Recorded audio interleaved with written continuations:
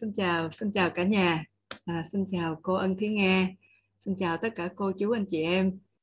À, có thể là một số cô chú anh chị em vẫn còn bối rối đúng không ạ, vẫn còn bối rối chưa biết làm cây biết ơn như thế nào đúng không ạ. À, thật sự bối rối là đúng ạ. À. Là tại vì Trang chưa hướng dẫn làm cây biết ơn ạ. À. vì vì Trang mới chỉ hướng dẫn cái việc là à mình liệt kê ra 100 người à, những cái người mà trên cái nhánh của mình và mình có thể mình viết vào trong sổ à, những cái người này với những cái điều mà mình biết ơn họ. Cái điều này rất là quan trọng trước khi mà chúng ta tạo ra một cái cây biết ơn thật sự ở trong nhà của mình. À, bởi vì là chúng ta cần một cái sự chuẩn bị đó ạ. Chúng ta cần à, viết xuống cần chuẩn bị. Không sao cả. Chúng ta cái hành trình của mỗi người có người nhanh có người chậm nhưng mà chúng ta hiểu rằng là cái cây biết ơn nó sẽ tạo ra của cải vật chất cho mình. Cái cây biết ơn nó sẽ tạo ra cái sự thịnh vượng cho mình và chúng ta quyết định chúng ta ấn định cái ngày nào để chúng ta bắt đầu một cái hành trình thịnh vượng thật sự. Đó là cái lựa chọn của mình đó là cái lựa chọn của mình. Tất cả nó nằm ở sự lựa chọn. Cho nên là rất là uh, rất là biết ơn cô chú anh chị em ở đây những người mà đã uh, rất là sẵn lòng uh, đã rất là háo hức với cái sự thịnh vượng của mình với cái sự chuyển đổi uh, một cái một cái bước ngoặt mới ở trong cuộc đời của mình khi mà chúng ta thực hành lòng biết ơn chúng ta sẽ cảm nhận cái điều này rất là rõ ràng. À, ngày hôm qua trang mới vừa nhận được một cái tin nhắn của một uh, một bạn hình như bạn cũng ở trong cộng đồng SE này đó.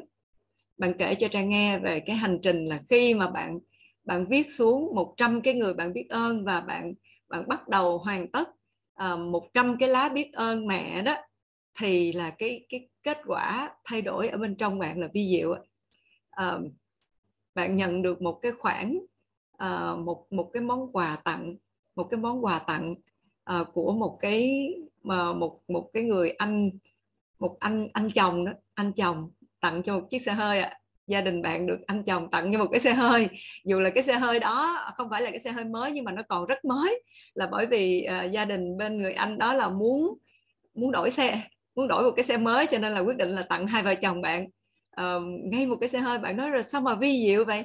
Khi mà bạn bắt đầu bạn viết được 100 cái lá biết ơn mẹ chồng thì là tự nhiên là một cái món quà xuất hiện và cái sự kết nối giữa bạn với mẹ chồng trở nên dễ dàng hơn rất là nhiều. Và mọi chuyện nó nó chuyển hóa rất là kỳ diệu ạ. À.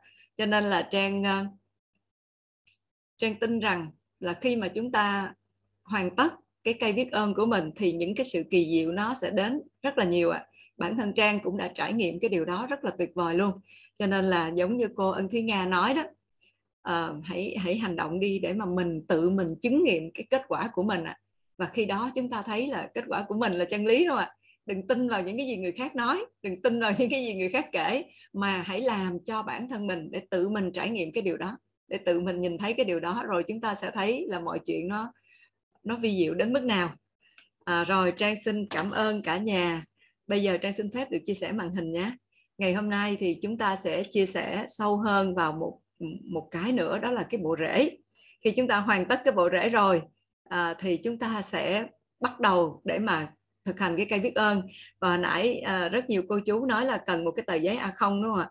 Đúng rồi, ít nhất phải là một cái tờ giấy A0 hoặc là chúng ta sẽ làm luôn thẳng lên trên cái bức tường của mình nếu mà có thể nếu mà có thể còn không thì làm trên cái tờ giấy A0 cái cây biết ơn nó là biểu tượng của lòng biết ơn. Mà khi mà chúng ta có một cái biểu tượng của lòng biết ơn sừng sững ở trong nhà của mình bản thân chúng ta con cái chúng ta à, tất cả những cái người đi ngang đi lại ai cũng được hưởng cái lợi lạc được hưởng cái phước lạc từ cái cây biết ơn đó à. Bởi vì nó nhắc nhở người ta về lòng biết ơn. Và mình biết rằng là lòng biết ơn phải có lòng biết ơn thì thì mình mới có được sự hỷ lạc đó ạ. à mà hỷ lạc thì tạo ra của cải vật chất. Cái sự thịnh vượng và uh, cái cái điều này được chứng minh từ uh, những cái vị những cái vị thánh hiền những cái người đã thành công uh, và được nói ở trong cái bộ kinh thần tài của ngài phạm lãi là cái ông thần tài mà chúng ta hay thờ cúng ở nhà đó và ông có viết ra những cái triết lý về kinh doanh. Ông là một cái người làm kinh doanh mà được phong thánh tức là một cái nhà kinh doanh mà tài ba lỗi lạc và đạo đức lỗi lạc cho nên là ông được phong thánh. À, và người ta thờ cúng ông như là một cái biểu tượng của sự thịnh vượng. Thì chính ông là cái người nói rằng là từ bi thì sinh hỷ lạc, mà hỷ lạc thì tạo ra của cả vật chất. Và chỉ có lòng biết ơn nó mới khơi gợi được, nó mới giúp cho bạn có được cái sự từ bi đó và có được hỷ lạc đó. Đó là nền tảng của tất cả. Cho nên là rất là chúc mừng cô chú anh chị nào mà đã bắt đầu, đã khởi động cho cái hành trình thịnh vượng của mình rồi. Và như vậy thì chúng ta đã đi lá, đi cành rồi. Bây giờ chúng ta bắt đầu chúng ta đi vào bộ rễ. Chính cái bộ rễ nó làm nên cái cây này. Nếu mà một cái cây biết ơn mà bộ rễ của nó èo uột, teo tóp thì chắc chắn là nó sẽ không bao giờ xung xuê cành lá được. Bởi vì những cái mà chúng ta nói biết ơn biết ơn biết ơn đó, nó chỉ ở ngoài miệng của chúng ta mà thôi. Nó không chạm vào trong tầng sâu. Cho nên là chúng ta cần phải nhìn nhận lại cái bộ rễ của cái cây biết ơn này.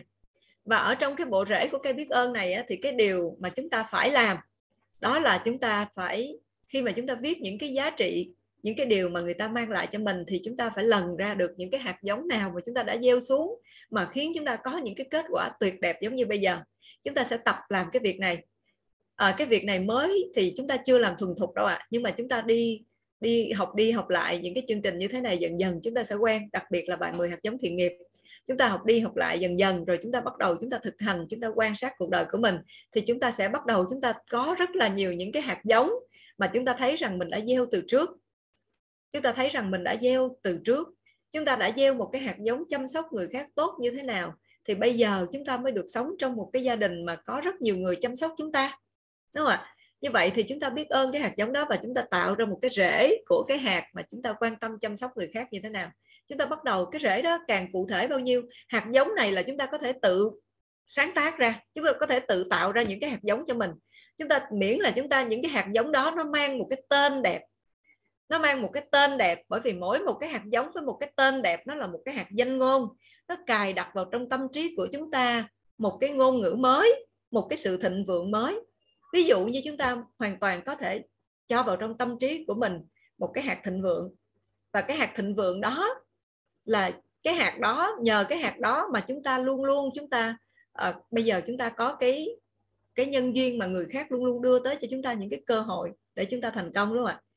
Rồi thứ tư là tôi biết ơn Kawana những ý nguyện trong quá khứ của tôi để tôi có được của cải vĩ đại có sự nghiệp lớn lao tạo ảnh hưởng đến mọi người đến nhiều người. Đây là sự tự do hoàn hảo và có nguồn lực để tôi phụng sự lớn lao. Đây là một cái ý nguyện tuyệt đẹp đúng không ạ? Một cái ý nguyện tuyệt đẹp. Chúng ta chúng ta chắc hẳn đã có cái ý nguyện này trong quá khứ. Và bây giờ chúng ta tiếp tục mà chúng ta, cho đến giờ phút này, nếu chúng ta chưa đạt những cái điều này, có nghĩa rằng là chúng ta đã quên lãng nó một cách nào đó. Chúng ta chắc hẳn đã có tất cả những cái ý nguyện này trong quá khứ rồi. Cho nên việc của chúng ta bây giờ là tưới tẩm, nâng niu lại, chăm sóc lại những cái ý nguyện đó để cho nó thành hiện thực ở trong cái lần sống này của mình hoặc là những cái lần sống tiếp theo tùy mình. Nhưng mà hãy hãy mong ước. Bởi vì khi mà bạn có một cái tâm nguyện phụng sự lớn lao, thì chắc chắn bạn đã phải có bên trong bạn là những cái ước nguyện như thế này, những cái hạt giống này nó đang trực chờ để mà nó phát triển, để bạn có được một cái sự tự do hoàn hảo và có nguồn lực để phụng sự lớn lao. Cho nên cái cái cái mong ước phụng sự của bạn càng lớn lao bao nhiêu, thì bạn sẽ càng thấy rằng nguồn lực sẽ đến để hỗ trợ bạn nhiều bấy nhiêu bởi vì trong quá khứ bạn đã từng có những cái ước nguyện như thế này. Bạn đã từng có những cái kinh nghiệm như thế này những cái ước nguyện như thế này ở trong quá khứ. Cho nên bây giờ việc của chúng ta là tự tin mạnh dạn tưới tẩm vào điều đó. Đúng không ạ? Trang nhớ một cái bài của thầy dư quang châu chia sẻ trên facebook mà trang đọc khi mà hỏi là à, tôi làm thế nào mà có được cái cái cái cái uh, giàu có hơn? Thì thầy nói rằng là cái câu trả lời là hãy phụng sự lớn lao. Tôi làm thế nào để tôi có thịnh vượng hơn? Hãy phụng sự lớn lao, đúng không ạ? Bất kể một cái gì đó mà nói về cái việc là bạn bạn có thể giàu có, thịnh vượng hơn thì tất cả nó nằm ở cái chuyện phụng sự lớn lao. Khi mà chúng ta hướng tâm về cái sự phụng sự lớn lao thì chúng ta sẽ được gửi cái nguồn lực tới để chúng ta có được một cái sự tự do hoàn hảo để chúng ta làm cái việc đó. Và bởi vì chúng ta đã có cái ước nguyện này trong quá khứ và bây giờ chúng ta chỉ kế thừa nó thôi, đúng không ạ? Rồi cái điều thứ năm là gì? Tôi biết ơn Kawana những ý nguyện trong quá khứ của tôi vì tôi đã tôn trọng và ca ngợi thánh hiền. Tôi đã gieo hạt, nói lời, có trọng lượng. Những cái lời nói không phải là những lời vô nghĩa, mà lời nói có trọng lượng. Biết tôn trọng quá khứ, biết tri ân tổ quốc, hồn thiên dân tộc. Tôi biết ơn quá khứ vì tôi đã biết ơn, trân trọng lời nói và ca tụng sự thật. Trong quá khứ tôi đã biết ơn, tôi đã biết trân trọng những cái lời nói của mình và tôi đã biết ca tụng sự thật. Tôi đã biết trân trọng quá khứ biết tri ân tổ quốc biết tri ân hồn thiên dân tộc. Tuyệt vời không ạ? Đây là những cái phẩm chất tuyệt đẹp. Và chúng ta đã gửi những cái ước nguyện đó đi rồi. Cho nên là bây giờ chúng ta chỉ cần khơi gọi lại à, chăm sóc lại. Chúng ta tưới tẩm lại cho những cái hạt giống này để nó có thể giúp ta trong cái cuộc đời này. Rồi cái điều thứ sáu cái rễ à, cái điều thứ sáu của cái cái um, những cái phẩm chất, tám cái phẩm chất này. Đó là tôi biết ơn Kawana, những ý nguyện trong quá khứ của tôi vì tôi đã đối xử tốt với những người thầy. Tôi đã phụng sự người thầy, biết quan sát, học hỏi những điểm tốt của thầy và ước nguyện được như thầy. Cái việc mà tôn trọng người thầy, đó là một cái phẩm chất vô cùng đẹp và chính cái phẩm chất này nó giúp cho chúng ta học được cái hạnh khiêm nhường, khiêm cung và chúng ta, trí tuệ của chúng ta sẽ phát triển chúng ta càng trân trọng người thầy bao nhiêu thì trí tuệ của chúng ta càng phát triển bấy nhiêu. Những cái người mà họ à, họ học từ người thầy nhưng mà xong rồi sau đó họ phản thầy thì những người đó là những người mà cái sự kiêu mạn của họ rất lớn và cái si cái cái cái cái sự mà cái thế giới quan của họ sẽ càng ngày càng bị tối càng bị che mờ. Những người càng không biết ơn người thầy đó là những cái người mà thế giới quan của họ càng ngày sẽ càng bị che mờ và càng ngày thì họ càng bị trở về với cái sự tối tâm và uh, cái trí tuệ của họ cái ánh sáng trí tuệ ở bên trong họ nó càng ngày nó càng bị lưu xuống bởi cái sự kiêu mạn. Nó sẽ làm cho con người ta không nhìn thấy được cái sự thật nữa và lúc đó cái cuộc sống rất là khó khăn. Cho nên chúng ta ngồi đây chúng ta học uh, chúng ta hướng về những cái chúng ta được đón nhận những cái trí tuệ như thế này là bởi vì trong quá khứ chúng ta đã từng rất là trân trọng người thầy chúng ta đã từng đối xử rất tốt với thầy chúng ta quan sát, học hỏi những cái điểm tốt của thầy và chúng ta đã từng ước nguyện được như thầy. Cho nên là trí tuệ của chúng ta ngày càng bừng sáng. Và khi mà chúng ta làm cái điều này, bởi vì tất cả nó là cái cái ở trong tâm mình, đúng không ạ? Tất cả nó nó đến từ cái sự khiêm nhường, khiêm cung nó ở trong tâm mình. Và những cái người mà có những cái thái độ như thế này thì họ càng ngày họ càng trở nên rất là giỏi. Và chắc chắn họ giỏi hơn thầy của họ họ tiến xa hơn thầy của họ. Có thể có những người họ tiến rất xa xa hơn thầy của họ rất nhiều nhưng mà chính cái sự khiêm nhường, khiêm cung này làm cho cái con đường của họ ngày càng hanh thông, ngày càng rộng mở, trí tuệ của họ ngày càng phát triển. Và cái điều thứ bảy là tôi biết ơn Kawana, những ý nguyện trong quá khứ của tôi vì sự can đảm vượt qua khó khăn, kiên trì mạnh mẽ để làm mọi việc. Không bao giờ từ bỏ, có phẩm chất của một vị anh hùng, vĩ đại, dũng cảm, không bị kéo lại và không bị mắc bẫy. Khi mà chúng ta có những cái ý nguyện uh, can đảm cái ý nguyện dũng cảm mạnh mẽ không từ bỏ thì đó là những cái phẩm chất của một cái người anh hùng vĩ đại. Phẩm chất của một cái người mà không bao giờ bị kéo lui lại không bao giờ bị bị đẩy lùi và không bao giờ bị mắc bẫy vào trong những cái bẫy cám dỗ và cạm bẫy của cuộc đời. Rồi cái cuối cùng cái thứ 8 và cũng là cái rễ cuối cùng của 26 cái rễ à, của cái cây biết ơn của chúng ta. Đó là tôi biết ơn vì tôi có niềm đam mê không sợ hãi có năng lượng đam mê dồi dào giúp đỡ mọi người khi cần trao cho họ sức mạnh của đam mê. Biết ơn quá khứ cho tôi một cơ thể khỏe mạnh và tràn đầy năng lượng của ngày hôm nay. Đó là 26 cái rễ à, cắm sâu vào trong lòng đất. Những cái rễ mà có khi chúng ta rất là khó nhận diện thì ở đây chúng ta sẽ luôn luôn được nhắc nhở. Chúng ta có thể đọc thu âm những cái cái 26 cái rễ này những cái hạt giống này chúng ta nghe đi nghe lại chúng ta nghe đi nghe lại để nó cài đặt vào trong tâm thức của mình để chúng ta luôn luôn nhớ à mình có diễm phúc nào mình có những cái điều kiện hoàn hảo bên trong như thế nào điều kiện hoàn hảo bên ngoài như thế nào và những cái phẩm chất nào mà mình được kế thừa từ trong quá khứ cho đến giờ phút này. Thì đó chính là cái cách mà chúng ta sẽ tạo ra cái cây biết ơn của mình. À, đầu tiên khi làm cái cây biết ơn thì chúng ta làm cái bộ à, chúng ta đầu tiên là chúng ta làm cái bộ rễ chính này trước xong sau đó làm chúng ta làm cành làm lá. Xong sau đó chúng ta quay ngược trở lại chúng ta bổ sung những cái rễ mà chúng ta nó suy ra từ trong những cái những cái giá trị mà ở trong những cái lá. À, đó là những cái gì mà trang muốn chia sẻ ngày hôm nay.